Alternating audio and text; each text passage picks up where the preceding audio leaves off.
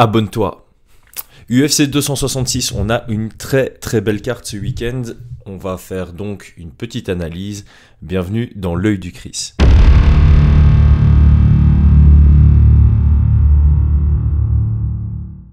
Avant de parler du main event, qui est vraiment de loin le combat le plus intéressant de la carte, euh, on va parcourir rapidement ensemble les autres combats qui pourraient être intéressants sur cette carte, même si je vois qu'il y a des changements dans tous les sens depuis euh, ce matin. On a notamment, et c'est très malheureux, le combat de Manon Fioro qui s'est annulé parce que il me semble que elle a le Covid. Manon, asymptomatique, mais elle a le Covid. Donc c'est vraiment dommage parce que J'aime bien ce que l'UFC fait avec Manon Fioro. Euh, avant qu'elle arrive à l'UFC, elle était très active. Elle arrive à l'UFC, elle est toujours active. Elle a clairement le potentiel de faire des dégâts dans la division.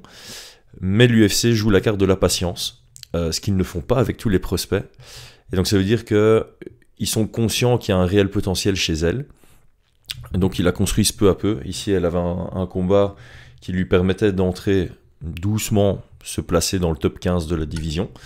Euh, donc j'espère que c'est qu'elle va pas développer des symptômes, euh, qu'elle va pouvoir refaire ce combat très prochainement parce que c'est un c'était un chouette test pour elle. Elle était favorite, mais il y avait un, un réel challenge, c'est-à-dire que ceux qui la connaissent bien savent qu'elle a un bon grappling. On la voit comme une strikeuse évidemment. Elle est excellente debout.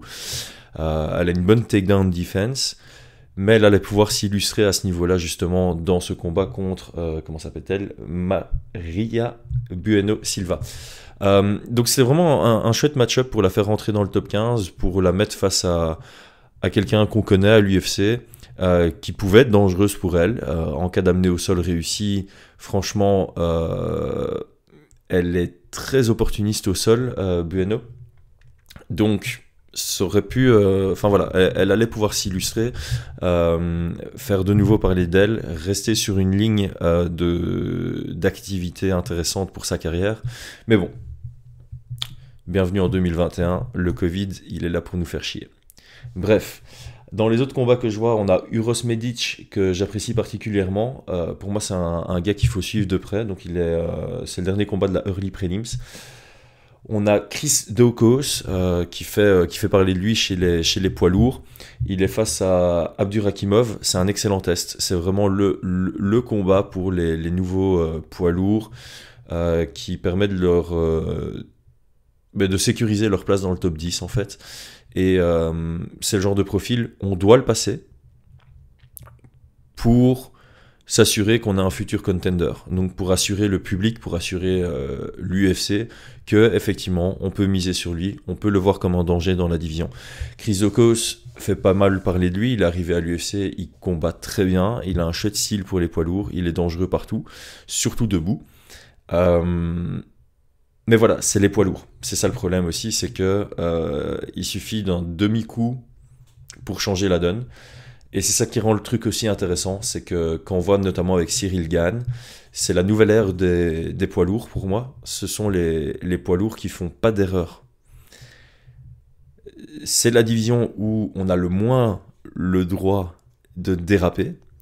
Et le futur de la division, ce sera certainement ça. Ce sera euh, quelqu'un qui a une capacité d'être dangereux sans prendre trop de risques ce qui est vraiment caractérisé par, euh, par Cyril. Et je pense que Chris rentre un peu dans cette définition aussi, et il a une chance ce week-end de, le prouver. Alors évidemment, le combat d'après, tout le monde l'adore sur papier, j'en fais partie. Mais il y a un côté que j'aime pas, c'est qu'il y a trop d'astérisques sur les à côté des noms. Donc, je parle évidemment de Nasrat Akbarast contre Dan Hooker. Très chaud de combat. D'un point de vue ranking, j'aime bien parce que Dan Hooker, il a eu des combats très difficiles. Il est sur deux défaites d'affilée, si je me trompe pas. Je vais aller vérifier ça tout de suite. Mais en tout cas, Dustin Poirier et euh, Michael Chandler. Dustin Poirier, combat incroyable, mais qui te fait perdre des années de vie. Et ça se ressent un peu. Alors, le, chaos qu'il prend sur Chandler, je pense que tout le monde tombe KO là-dessus. Mais euh, on, a souvent ça. Oui, avant ça, il avait un combat énorme contre Paul Felder. Donc, ça, c'est une théorie qu'il y a souvent en MMA. Quand tu as un combat très difficile, de temps en temps, juste après, tu as, un risque de tomber, euh, euh, de tomber sur un, un bête coup. Et Dan Hooker, je trouve qu'il prend ce combat un peu tôt par rapport aux trois derniers combats qu'il a eu. Une guerre contre Paul Felder, une énorme guerre de 5 rounds contre euh, Dustin Poirier, et puis il prend un KO. Il faut aussi prendre le temps de temps en temps de se reposer. Euh, une des forces de Dan Hooker, justement, c'est que c'est un dur à cuire. Il est difficile à finaliser. Il sait encaisser et rester dans le combat. Mais là, en revenant trop tôt, il prend le risque de prendre de, de, de plus avoir cette, euh, cette caractéristique euh, qui, qui, va en accord avec son style, puisqu'il aime bien combiner, malgré qu'il ait une énorme allonge, là où il est le plus dangereux, c'est à mi-distance, c'est en distance d'anglaise, en distance de crochet. Euh, et donc, il faut savoir en encaisser pour ce style. Donc ici, il prend un risque en revenant tôt, je trouve. Euh, mais cela n'empêche que j'aime bien le fait que voilà, il est sur deux défaites d'affilée, il est toujours dans le top 10, mais il vient chercher quelqu'un qui est vraiment en dehors de stop. Euh, mais ça reste un combat très dangereux.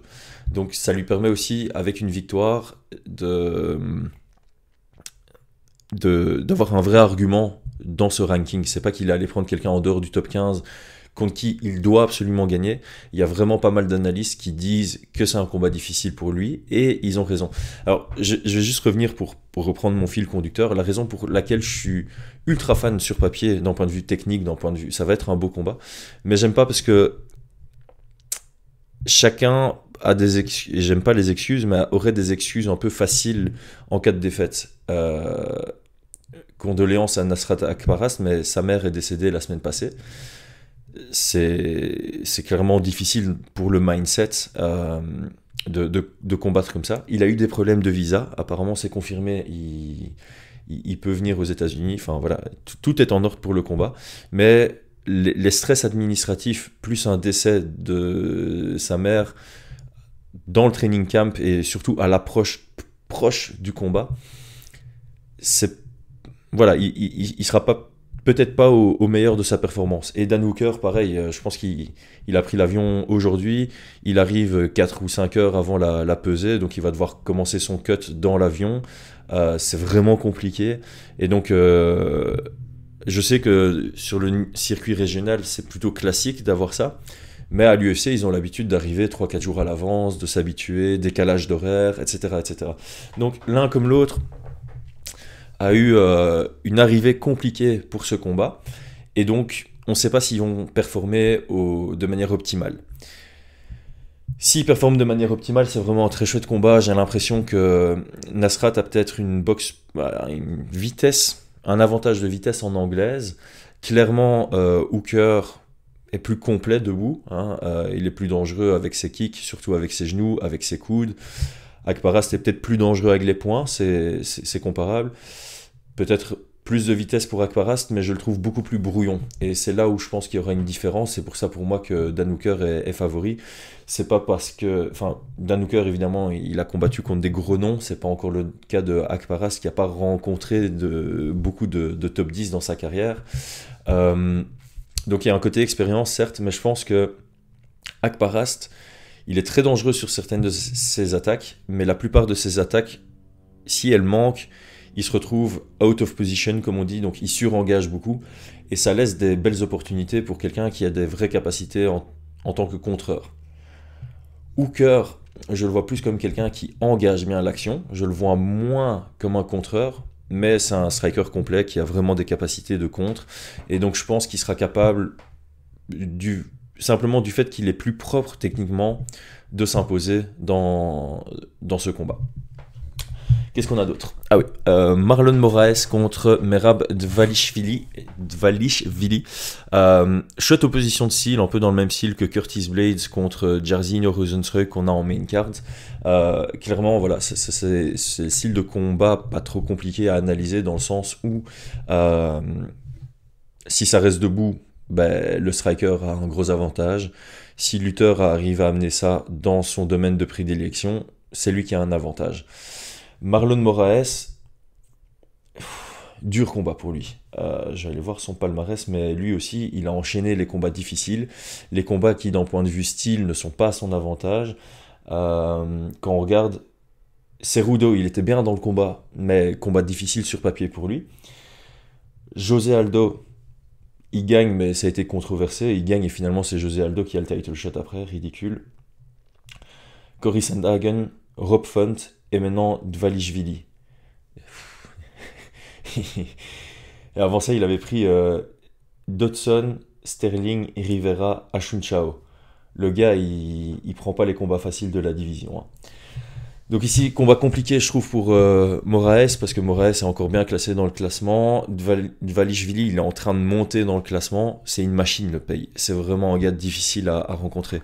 Si euh, Moraes arrive à garder le kicking range, à imposer justement sa vitesse, euh, sa technicité par rapport à, son adversaire, ça peut jouer en sa faveur, mais Dvalishvili, il fait qu'avancer, donc pour un kicker, c'est affreux. Euh, un kicker a toujours besoin d'espace pour s'exprimer. Il a besoin de quelqu'un qui, lui laisse euh, rester sur place de temps en temps pour, pour faire ses setups de kick. Quelqu'un qui fonce sur lui comme ça, ça risque d'être compliqué. Dvalishvili a une très très bonne lutte, a un cardio euh, hors pair. Donc plus le combat avance, plus ça va aller à l'avantage selon moi du, du, lutteur ici. Et en plus de ça, Merab, s'il n'arrive pas à amener au sol, il est très bon pour bloquer à la cage. J'ai vraiment l'impression qu'on se dirige vers une décision pour euh, Merab Valishvili. J'ai toujours du mal avec son nom, mais ça se comprend. Euh, évidemment, Moraes est tellement dangereux avec, euh, avec ses kicks, et même il commence à avoir une bonne anglaise en contre, que ça peut s'arrêter à tout moment. Mais clairement, on a l'impression que c'est vraiment le combat, soit Moraes gagne par finish sur euh, un moment d'opportunisme, soit ça va aller être euh, une décision pour euh, Merab Dvalishvili. C'est vraiment la lecture un peu classique de ce combat. Andrade, Calvillo, Curtis Blades, Jarzino, Rosenstruck, un peu le même principe. Curtis Blades, après, on est chez les poids lourds, donc Curtis Blades est suffisamment explosif que pour surprendre Jairzinho, mais d'un point de vue stratégie, ce serait pas une bonne idée de sa part de, se dire, tu sais quoi, je vais striker avec euh, Jairzinho. Jairzinho, j'en parle tout le temps, tout le temps, tout le temps. Excellent contreur, mais bizarrement, selon moi, il est tellement meilleur quand il prend le risque de mettre la pression. Il l'a montré contre Junior Dos Santos, il l'a montré dans son j'ai pas envie de dire de conneries. il l'a montré contre Sakai, c'est ce que j'allais dire. Euh, il l'a montré contre Overeem. Il se positionne toujours comme euh, un combattant en contre, qui est dans l'attente, euh, peu volumineux. Ça lui a posé problème dans beaucoup de ses combats, notamment contre Cyril, dont j'ai parlé juste avant. Et force est de constater que quand il met la pression et qu'il se décide d'être actif ou volumineux ou agressif, il trouve ses ouvertures et il gagne avec brio. Euh, au niveau où il est, donc dans le top de la division, il aura plus des gars comme Arlovski qui vont faire des conneries malgré l'expérience d'Arlovski et tout le respect que j'ai pour lui. Mais quelle débilité il avait fait contre, euh, contre Rosenstruck de, de rusher contre un contreur et exposer son menton comme ça. Il aura plus, à moins qu'il perde plusieurs fois et qu'il sorte du top 10, il aura plus de combats comme ça et donc il doit absolument changer son style parce que sinon il sera tellement dans l'attente qu'il va perdre à chaque fois. Et, euh, donc j'aimerais bien une fois le voir dans un combat où il est plus, plus actif, plus sur le pied avant, plus en train de mettre de la pression, plus agressif. Euh, alors contre Curtis Blades, évidemment, euh, être agressif c'est dangereux parce que tu exposes tes hanches et une fois qu'il t'amène au sol, c'est compliqué de se relever. Mais pareil, être dans l'attente contre Curtis Blades, il va faire ses in and out, et puis au moment où il, va feinter et que toi tu vas envoyer ton check hook, bah, tu exposes aussi tes hanches. Donc en, quelque sorte, euh, vaut mieux prendre le risque euh, d'aller finaliser que euh, d'être dans, l'attente et de d'office pas trouver son, ouverture. Bon, peut-être sur un uppercut comme Derrick Lewis, mais Jairzinho, il, a plus cet automatisme de partir sur un check hook, ce qui est mauvais contre un lutteur qui a des bonnes feintes en, en pied-point. Euh, combien de temps ça fait Est-ce que je ferai ma pub maintenant Allez, la pub et je reviens pour les trois derniers combats, mais on va en analyser que deux.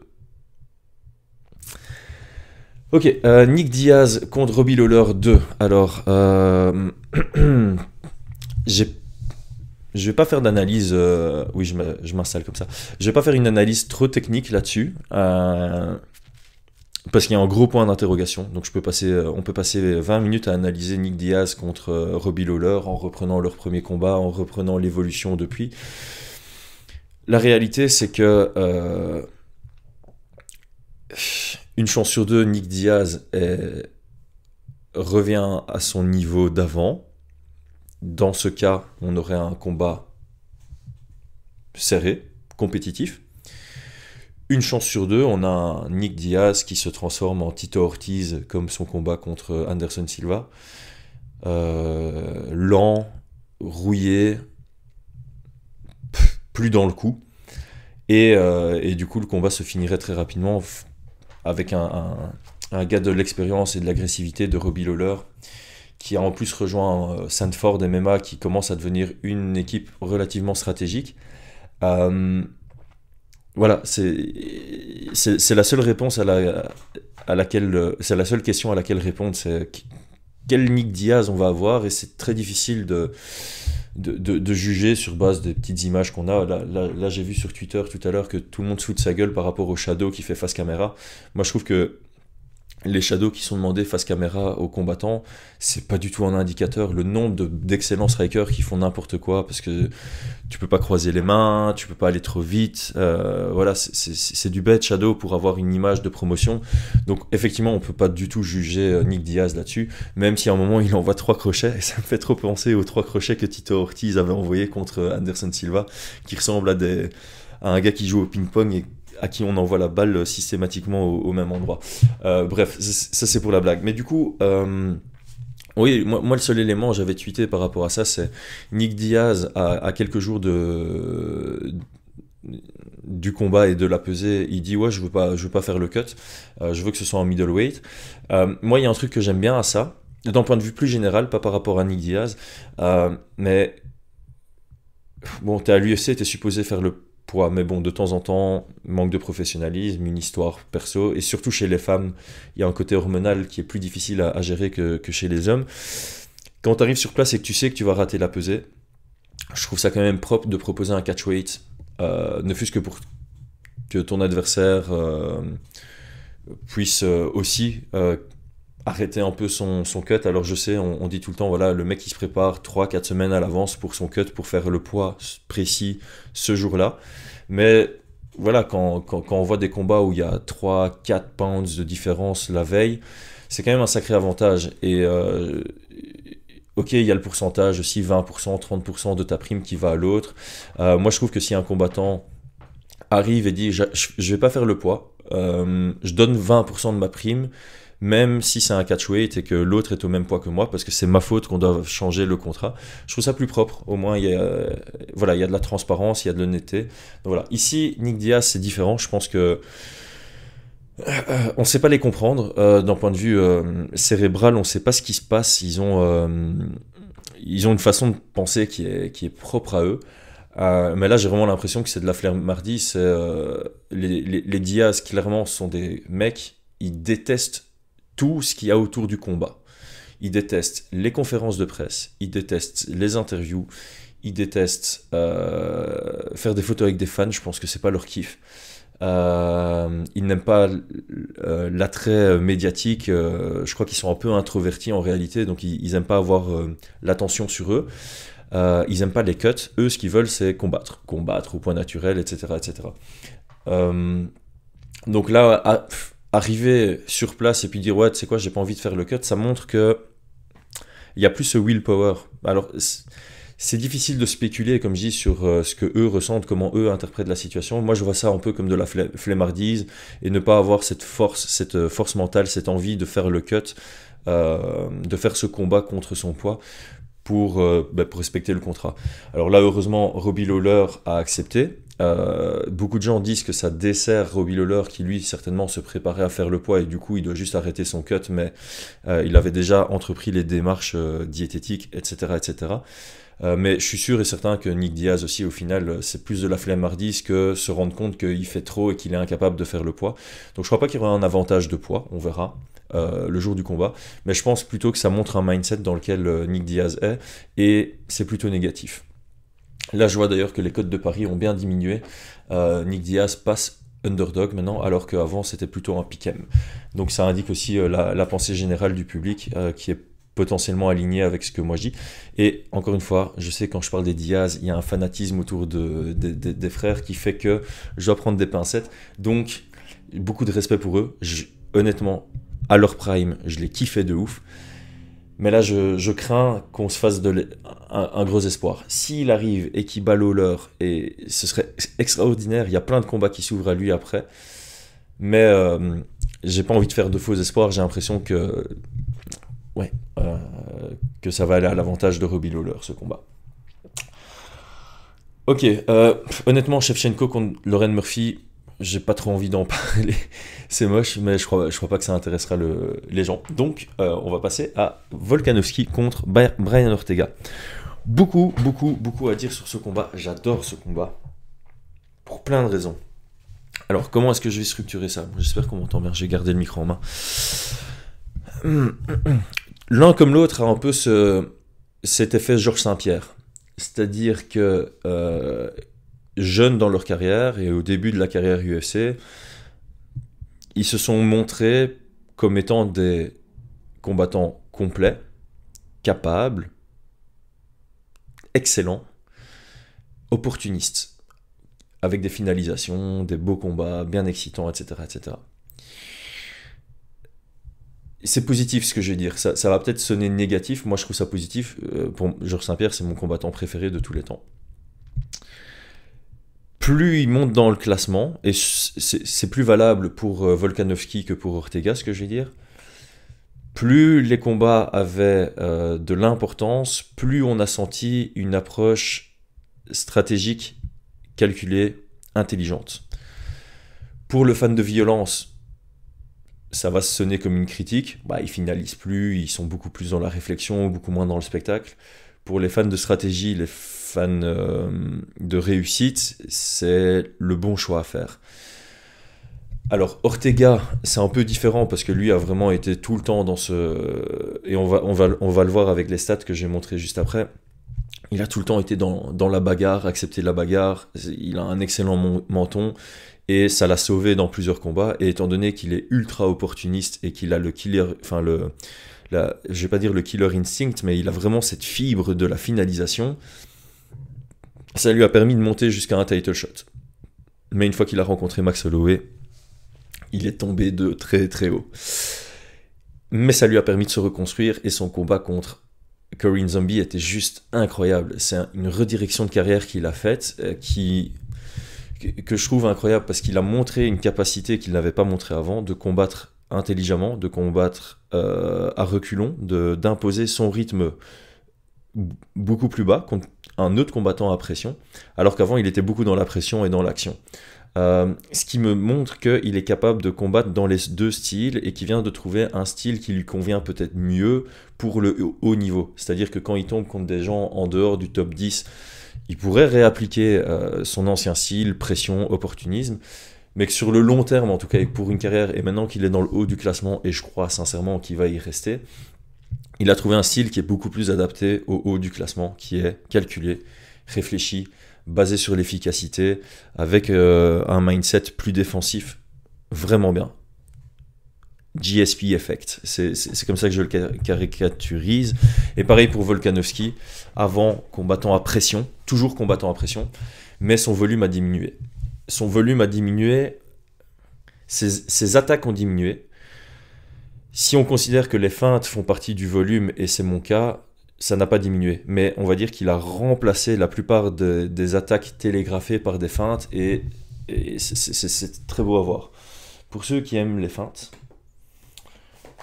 j'ai mon livre, il a un an depuis cette semaine, mon deuxième livre, L'art de la bagarre. Si tu l'as pas encore et que tu kiffes un peu l'aspect stratégique du MMA, je te le recommande, mais évidemment c'est moi qui l'ai écrit. Euh, les liens sont en description de, de la vidéo. Bref, c'est un très chouette combat ici. Euh, il faut pas. Il y, aura peut-être. Euh, mon PC s'est mis en veille. J'espère que l'enregistrement continue avec le micro. Oui. Il y aura peut-être. Euh, ce sera peut-être un fight of the night. J'y crois pas. La probabilité est toujours là. parce que l'un comme l'autre a montré par le passé, beaucoup moins récemment, mais par le passé, l'un comme l'autre a montré une capacité, une compétence dans des combats chaotiques Mais les deux, dans leur dernier combat, dans leur tout dernier combat pour Ortega, son tout dernier combat, et pour euh, Volkanovski depuis Aldo, a montré une vraie réflexion, une capacité, une compétence, une excellence même dans des combats contrôlés. Et c'est ça qui rend ce, combat si beau, c'est que j'ai l'impression qu'ils sont tous les deux maintenant dans les combats contrôlés, parce qu'ils se rendent compte qu'au haut niveau de la division featherweight, il faut ça. Mais le passé a montré qu'ils étaient tous les deux excellents aussi dans les petites guerres, dans les petites bagarres, et qu'ils étaient intelligents dans ces moments-là, et opportunistes, l'un comme l'autre. Donc on peut tout avoir, et j'espère vraiment qu'on aura un combat majoritairement contrôlé, mais avec des petits moments de folie, j'espère. La probabilité est faible, mais elle est, présente. Euh, donc donc c'est propre. Euh, on a quand même deux approches différentes, c'est-à-dire que Ortega, euh, bizarrement, j'ai l'impression que j'avais lu quelque part qu'il avait une moins bonne allonge que Volkanovski, mais l'allonge au final a moins d'importance que, la taille à, certains niveaux. J'ai l'impression quand même que Ortega euh, pourra toucher Volkanovski à, distance et va moins jouer avec des in and out. Volkanovski, c'est plus dans son style de jouer avec des in and out parce qu'il est généralement plus petit que ses adversaires et donc il a besoin de d'un peu euh, casser le rythme, euh, jouer sur euh, l'envoi d'informations constantes. Il bouge beaucoup, il fait beaucoup de in and out, il bouge très bien latéralement, il fait beaucoup de feintes sur ses entrées. Et puis quand tu crois qu'il fait une feinte, il entre vraiment, il fait des beaux bursts, des beaux blitz. Il travaille plus en combinaison que Ortega dans son dernier combat qui était fort fort axé sur feinte, single attack. Encore une fois, je parle des single attack aussi dans mon livre. Euh, donc pour les, ceux qui ont adoré euh, Ortega contre Corinne Zombie, ceux qui ont adoré les deux Volkanovski contre Holloway, vous allez adorer mon livre. J'arrête les pubs. Euh, donc ouais, il y, a vraiment ce côté, ce, côté très intéressant où on sait que, enfin, c'est mon estimation. Je peux me tromper évidemment, mais j'ai l'impression que les deux vont avoir une approche stratégique, une approche calculée euh, qui vont pas prendre trop de risques au début et les deux sont très bons, s'adaptent très bien aussi à leur adversaire, surtout Volkanovski. Volkanovski a réussi à s'adapter à Max Holloway, surtout dans le deuxième combat. Alors que Max Holloway est un combattant qui s'adapte très bien et qui monte crescendo. Donc le fait que Volkanovski ait su rester... Alors il y a une controverse, je ne parle pas du résultat. Beaucoup pensent que Max Holloway a gagné. Même si on pense que Max Holloway a gagné, ça n'enlève rien au fait que Volkanovski a fait une incroyable performance contre lui. Quand on voit euh, Max Holloway contre Dustin Poirier, les adaptations qu'il a faites sont extraordinaires. Donc Max Holloway, qui est quelqu'un qui s'adapte très bien, quelqu'un qui combat de manière crescendo, le fait que Volkanovski ait su tenir ça et su s'adapter aussi, c'est énorme. C'est énorme. Volkanovski on lui donne très très peu de crédit, mais le mec a finalisé Mendes, il a battu à plat de couture Aldo, alors que Aldo, euh, ben, il est encore maintenant, mais à ce moment-là, il était encore dans le top du top. Et il a battu deux fois Max Holloway. Même s'il y a une controverse, ça reste, il a été compétitif. Beaucoup le voient gagner contre Max Holloway deux fois. C'est énorme. C'est énorme.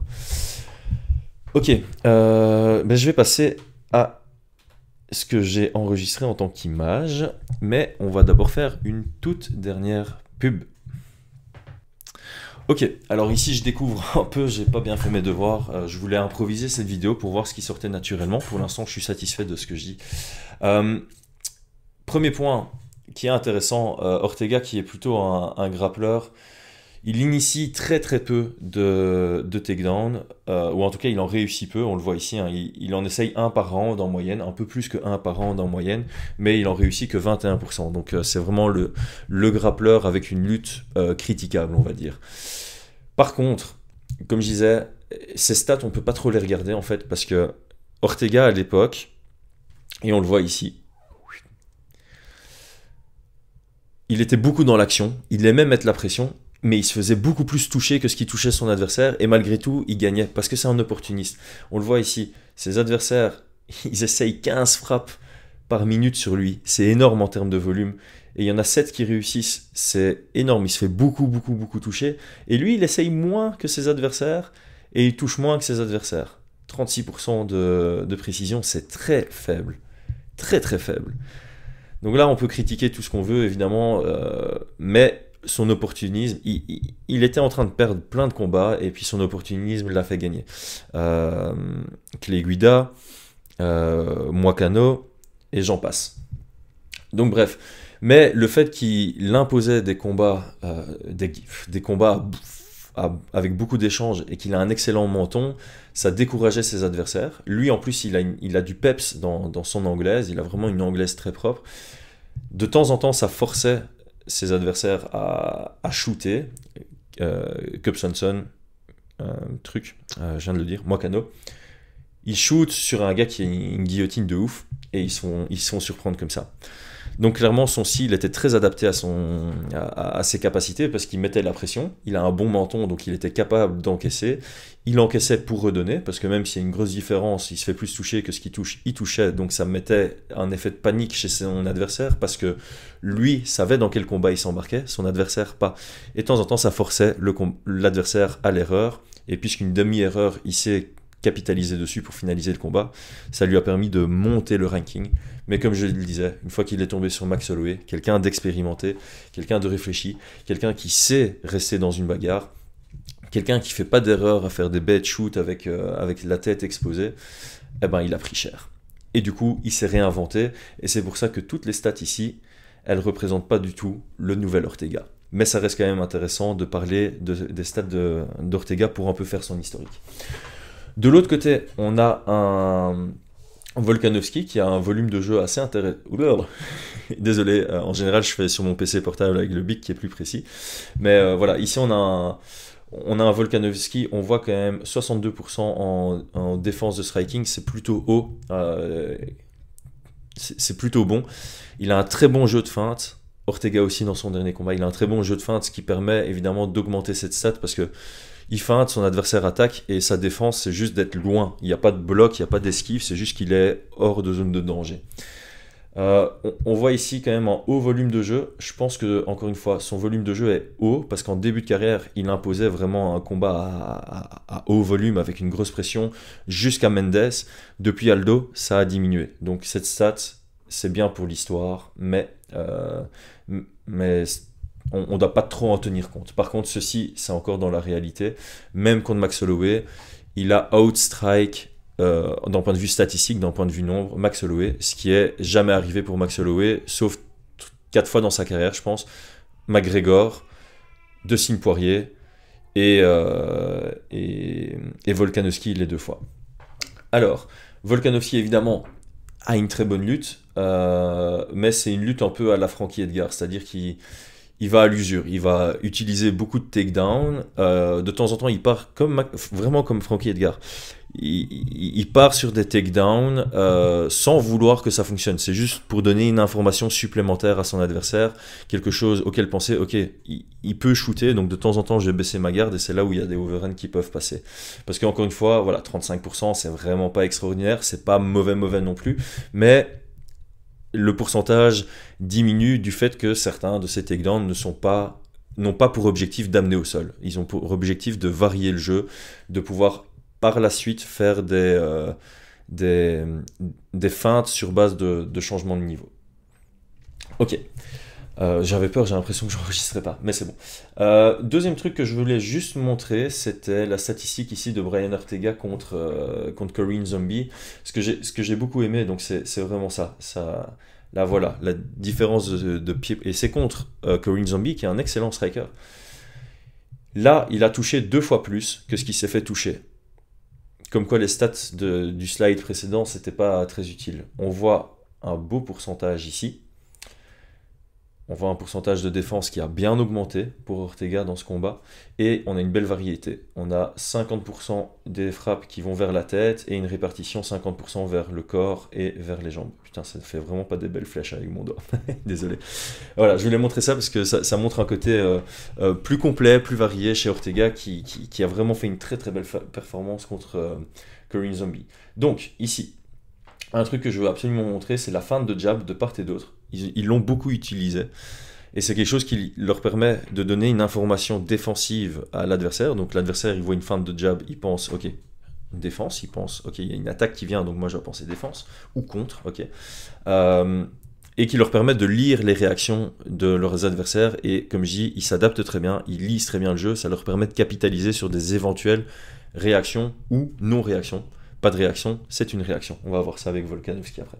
Donc, ce petit step, ce petit in-out avec une fin de jab, ça permet de créer de la distance de temps en temps, ça permet de garder l'adversaire sur une réflexion défensive sans prendre de risques, sans s'exposer. Parce que si Korean Zombie contre à ce moment-là, ben, on, voit la distance. Ortega se fait pas toucher. Suite à la feinte, il utilise les, des armes longues, donc des kicks à distance. Euh, ce qui lui sera utile contre Volkanovski, parce que Volkanovski, il, met quand même une pression, il essaye de se rapprocher, il essaye de casser à distance, et donc ce genre d'outil, ça peut vraiment, vraiment euh, faire du bien. Je sais pas si vous entendez mon bébé pleurer, moi je l'entends, ça me déconcentre un peu, je suis vraiment, euh, enfin je vais pas m'excuser pour ça, mais, mais voilà, sachez que du coup je suis pas ultra concentré. donc ici il vient d'envoyer un front kick, on rebouge, il est à distance de kick, il envoie son, son kick intérieur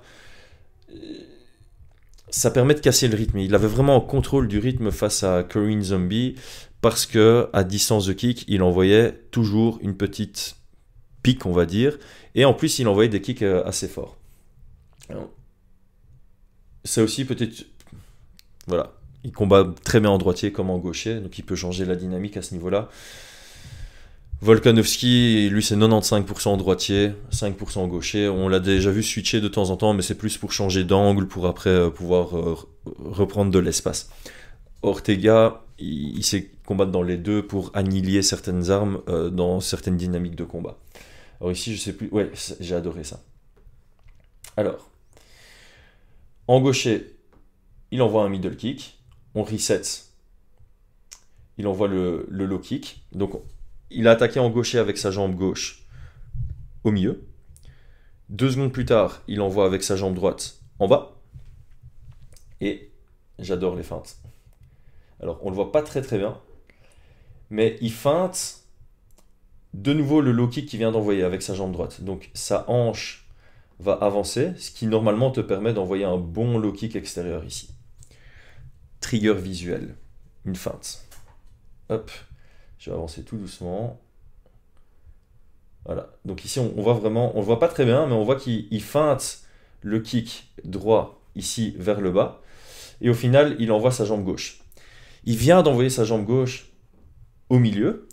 Donc, on a un Corinne Zombie qui dit Ok, il y a le kick qui arrive.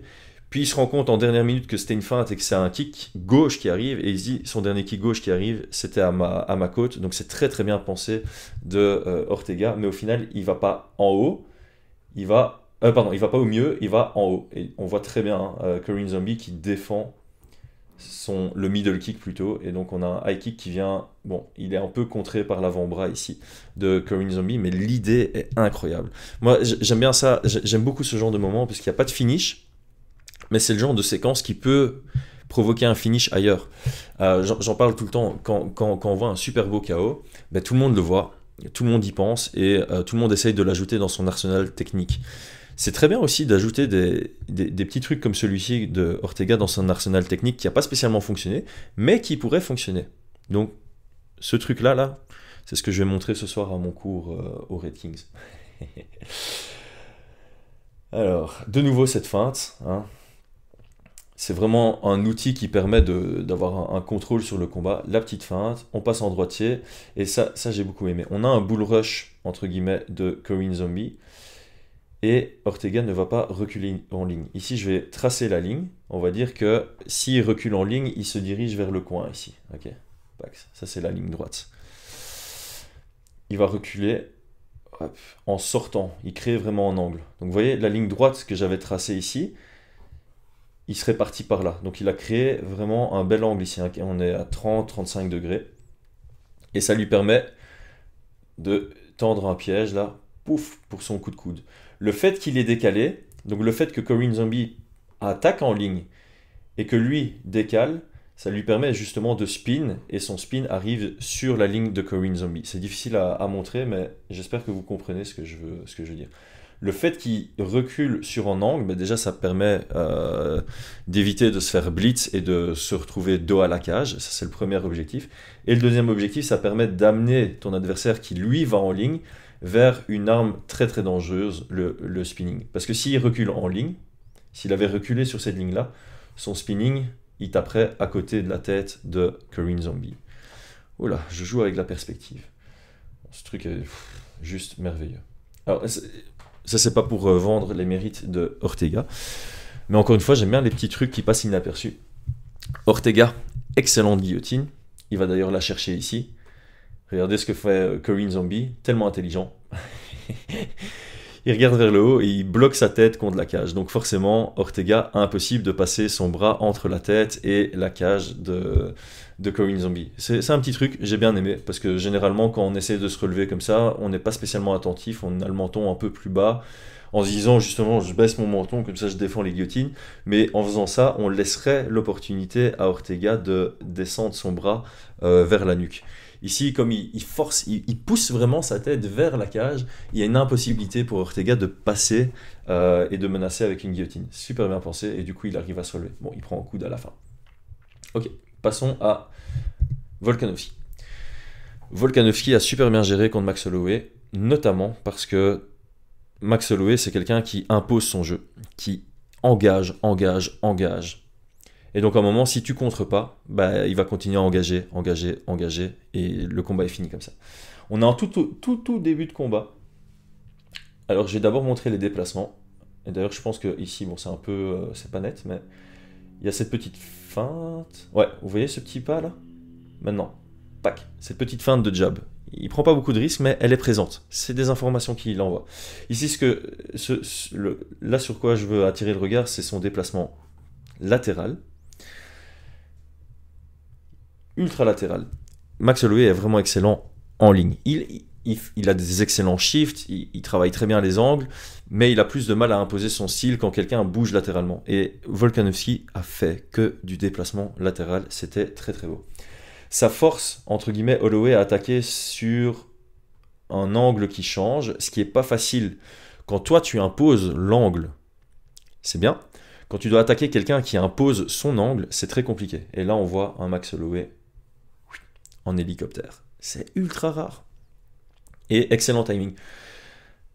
Donc, Volkanovski, je reviens un peu en arrière. Volkanovski, latéral, latéral, latéral. Au moment où il y a une attaque de Holloway, il plante son pied au sol, boum, le overhand et la menace, enfin le crochet qui rate après. Ça, ça casse complètement Holloway qui doit beaucoup reculer, ce qui est très très rare. Même contre Dustin Poirier, on ne le voyait pas souvent faire ça. Vraiment et puis ce petit low kick, encore une fois, les armes longues. Max Holloway revient dans une bonne distance et il vient casser le rythme. Boum, low kick, Max Holloway désengage, doit revenir. C'est chaque fois reset, reset, reset. Il, il, empêche son adversaire de se poser dans le combat. Il a un contrôle du rythme. Tout comme Ortega avec contre Corinne Zombies qui rend le combat vraiment merveilleux sur papier. Ici, voilà, la feinte. Hein. On est en petit euh, battle de main. Petite feinte de jab pour voir la, réaction. Et là, on force Holloway. Ah, ça j'ai oublié de dire. Euh, est-ce que j'ai un bon moment pour le faire? Ouais, ici c'est plutôt pas mal. Étant donné qu'il est plus petit, j'en avais parlé pour Gastelum, je pense. Quand tu es plus petit que ton adversaire, il y a une distance qui est dégueulasse pour toi. C'est la distance où ton adversaire peut te toucher et toi tu sais pas le toucher. Parce que quand tu es plus petit que ton adversaire, il y a cette distance qui existe. L'adversaire va essayer d'avoir le maximum du combat à cette distance. Toi, tu dois essayer de jamais être à cette distance. Donc tu as deux options. Soit tu te mets à une distance où toi tu peux le toucher. Bah, évidemment, comme tu es plus petit, quand toi tu peux le toucher, lui peut le toucher, mais donc ça doit être à ta décision d'arriver à cette, distance-là. Soit tu te mets à une distance où aucun des deux ne sait toucher l'autre. Si lui ne sait pas le toucher, toi tu ne sais pas le toucher. Mais tu peux vraiment pas te mettre à la position où toi tu ne sais pas le toucher et lui peut te toucher. C'est ultra logique. Donc ici, il impose vraiment une distance où Max Holloway est obligé de faire un petit pas pour le toucher, ce qui lui donne un temps de réaction, et c'est facile du coup de... Voilà, donc ici on a cette petite feinte toujours, et là on va voir, regardez la distance. Ici, Max Holloway, même s'il envoie un kick, le kick ne touche pas Volkanovski. Donc Max Holloway doit avancer, ce qu'il va faire ici. Vous voyez, ce petit step, il est obligé de surengager, ce qui donne un temps de réaction à, Volkanovski. Esquive, très beau, et le contre est facile. De nouveau, on casse le rythme. Qu'est-ce que je voulais montrer ici? Toujours ces mouvements latéraux, ouais, ça, les low kicks, forcément. Max Holloway, excellent jab, contre quelqu'un qui a un excellent jab, s'il vous plaît, s'il vous plaît, cherchez les low kicks.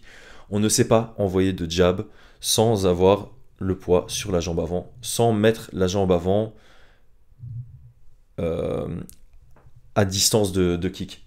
Si Max Holloway, sa jambe elle est là, il ne sait pas venir toucher avec son jab. Il est obligé d'avancer sa, sa jambe ici. Si sa jambe est ici, il peut toucher avec le jab, mais ça veut aussi dire que si tu esquives, ton low kick va toucher sa jambe. C'est vraiment dégueulasse ce que je fais. Donc, de nouveau, déplacement latéraux. Max Holloway perd patience, méga step. La jambe est disponible, son poids est dessus. Le low kick va d'office toucher. Voilà. Et en plus, le jab, il servait à rien. La jambe est disponible, et même il n'a pas le temps de l'enlever, calf kick, ça touche bien. Ça casse de nouveau le rythme. Ça, c'est pour les angles. On a un Max Holloway qui, lui, se reset. De nouveau, on force le reset, il se reset, il se reset. Pendant qu'il reset, nous, on a le bon angle. Max Holloway se déplace vers l'angle parfait pour le jab. L'angle parfait pour le jab, il n'est pas maintenant, mais étant donné que Max Holloway se déplace, on ne vise pas là où la cible est, on vise là où la cible sera. J'en parle très souvent. J'en avais parlé pour mon top 10 euh, des meilleurs moments entre TJ Dillashaw contre Cory Sandhagen. La vidéo n'a pas fait beaucoup de vues. Je vous invite vraiment à la voir. Elle est au top. Je me jette des fleurs. Hein. Voilà. Et il envoie son double jab. Max Holloway n'était pas du tout en position d'attaquer. C'est le moment parfait pour attaquer parce qu'on sait qu'il n'y a pas de contre qui vient. Et du coup, on peut venir combiner. je voulais montrer beaucoup de trucs. Ouais, donc ça, juste pour montrer la tête toujours haute, Volkanovski. Il n'y a pas de risque de guillotine. Il garde toujours la tête très très haute sous le menton de Max Holloway. Donc ça, je voulais absolument montrer parce que ça montre que potentiellement Volkanovski pourrait shoot sur Ortega parce que naturellement, il garde son dos droit, il garde sa tête haute et euh, il se met pas à risque de choper une guillotine. Bon après, Ortega c'est un génie pour ça, mais voilà. Ah, j'en ai marre. De nouveau, cette petite feinte. Ah ça, j'ai vraiment adoré. Je pense que c'est le dernier truc. Elle est longue, cette vidéo, sorry. Petite feinte, pas de réaction. Pas de réaction, c'est une réaction. Si tu feintes que ton adversaire ne réagit pas à ta feinte, ben on voit la frappe. Ici, on est quand même dans un combat safe. On sait que Max Holloway, de temps en temps, il réagit pas et juste après, il va réagir. Il a une vraie variété dans son jeu. Donc ici, ce que Volkanovski fait, c'est le petit low kick, comme il n'y a, il a pas de réaction, le petit low kick, on reste quand même safe. Regardez ça, protection défensivement au top. Hein. Et puis il vient attaquer par derrière. Pouf, double attaque. Pas de réaction, c'est une réaction. Il voit que quand il attaque, Max Holloway ne contre pas. Donc il vient attaquer avec une combinaison, parce qu'une combinaison est vraiment risquée quand l'autre contre. Si l'autre ne contre pas, c'est le bon moment pour envoyer une combinaison. Ok, eh ben on a fait le tour. Euh, en termes de pronostic, moi j'avais mis sur Twitter que je sais pas pourquoi, je sentais une décision serrée, compétitive. J'ai l'impression que Ortega peut le faire. Je sais que Ortega est, euh, a raison le underdog, mais j'ai regardé vraiment ce combat, le, donc euh, Holloway Volkanovski 2, et juste après j'ai regardé Ortega Zombie, Corinne Zombie. J'ai eu ce feeling que Ortega pouvait mieux gérer le combat, avoir comme je dis, ça va être serré, ça va jouer sur des détails. J'ai l'impression que Ortega aura ce petit truc en plus sur la majorité des rounds, sur au moins trois rounds. Euh, je ne serais pas surpris que ce soit serré au point que les juges ne soient pas d'accord les uns avec les autres et qu'on parte vers une split. Euh, en tout cas, c'est un super combat. Vraiment un super combat, j'ai super hâte de le voir. J'espère que toi aussi. J'oublie toujours de poser des questions pendant euh, mes vidéos. Tape tes pronostics si tu es encore connecté à la vidéo. Merci à tous. À très bientôt. C'était Chris Genacht.